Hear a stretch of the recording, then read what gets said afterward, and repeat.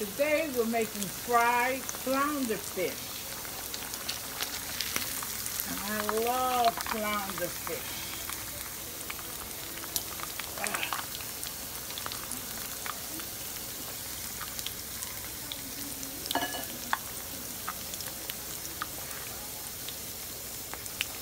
Take my nice coated battered fish.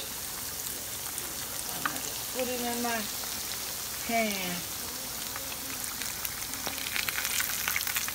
Look at that fish. Oh.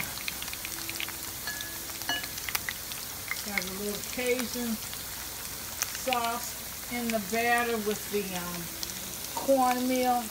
We just lay it right on there. Flounder fish.